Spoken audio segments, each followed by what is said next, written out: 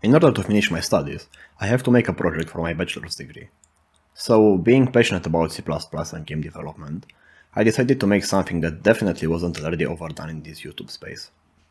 I made yet another game engine. But, I want to bring something a little different to the table. I wanted my engine to be low level, to be able to write your code in C++, and be able to edit and recompile your code while the engine is running. Can I even implement something like this? Let's find out.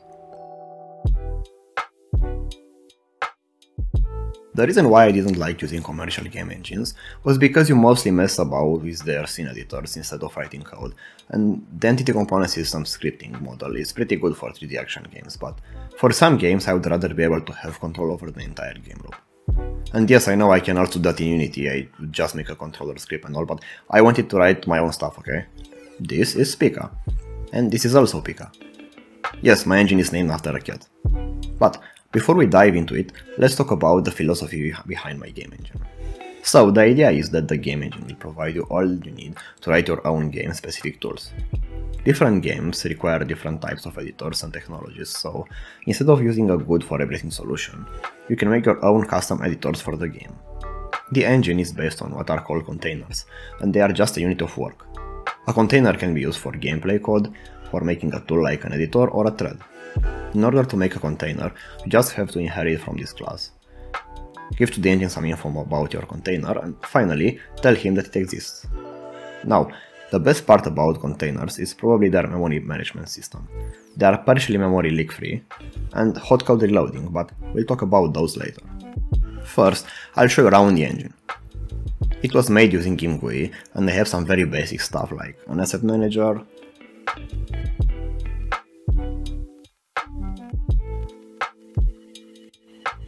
a console and a log window. You can of course send messages from your game to the console or log errors.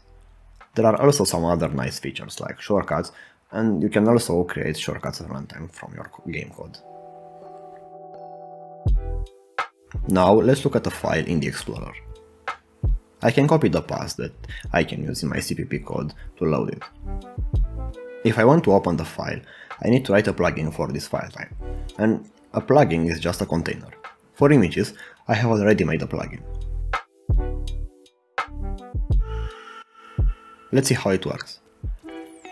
First you need to inherit from the base class, similar to Unity or other engines. You then have to override some functions. The container info function is used to tell the engine information about your container. Here you can specify for example what extensions your container can open, and the engine will give you the path to that file when you open it from the editor. The create and update functions are pretty much self-explanatory. You can see that I pass many parameters to these functions and they hold engine functionality, memory allocators and other things, and you'll see later why I'm doing things this way. Let's see how this would look like in the context of making a game. I have here a small Super Mario clone. I would like to edit the map so for that I can go in the file explorer and open the map file with the map editor, which is a separate container. Here I can edit my level and when I'm done I can save the map the game will update the level automatically.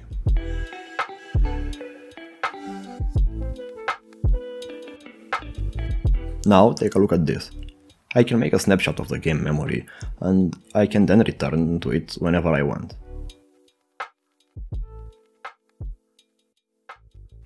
Now I would like to make the player be able to jump exactly 4 blocks. I can record the input while I try to jump and then play back that input on a loop.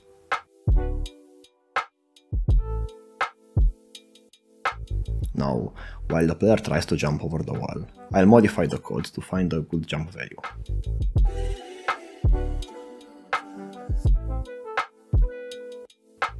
Once the code compiles, you will see that the player code will update and it will be able to jump over the wall.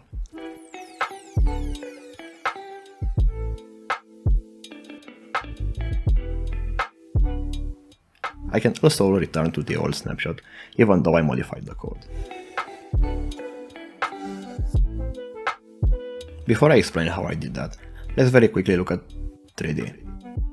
I am just using my 3D library, so if you want more details, I have a video on that, but let's quickly see how it works in my engine. So, like any other thing in this engine, the 3D module is just a library and you can use any other 3D library you want. But I already provided support for my library and it has some nice looking graphics and you can easily use it. You can create a model, add it to an entity and play its animation.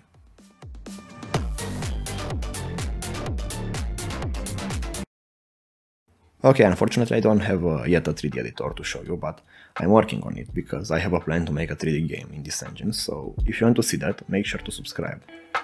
This is roughly how it will look like though. This is the editor from the library and I'll have to copy some code from here. Now, how is it possible to save the game state and even recompile the code? There is a concept in functional programming and it is called pure functions. A pure function has an input and an output and doesn't use external data. A pure function is special because it will always return the same output given the same input. Our game runs in the update function. Let's try to make that function pure. How would we do that? Well, the output is the screen information. What about the input? Well, the keyboard input is part of the input. Now, the update function almost looks like a pure function. What do you do about the game memory? Well, we can pass it as an input and the modified state of the memory can be considered an output. Now, the update function is pure. Saving the game state just means saving the game memory, and recording the input is, well, just saving the initial state and then recording the input. To do that, in practice, there are of course extra steps. You need a custom allocator that uses a big chunk of memory to save the data of your game. Also, since you will most likely use pointers in your game data, you need to be able to allocate that chunk of memory at the same base address if you want to reuse that snapshot. If you are interested in a more detailed explanation, make sure to like this video and I'll make a video where I look at the engine code and you can also check the Handmade Heroes series because there I learned to do this kind of things. What about recompiling the code? Changing the code just means changing the game function while keeping the game memory. You could save the game memory in a file and restart your program, but I want to be able to recompile my code when the engine is running. In order to do that, I compile all the gameplay code to a DLL. When I recompile the DLL, the engine notices that it was changed and reloads it. Now again, I skipped many implementation details, but if you are interested in learning more about those, make sure to let me know in the comments and I'll make an in-depth video. Also, make sure to subscribe if you want to see when that video comes out, or the video where I make a game in this engine. Until then, if you are new to the channel, maybe take a look at my 3D engine, or take a look at this video where I try to make a multiplayer Terraria in just 3 days. See you!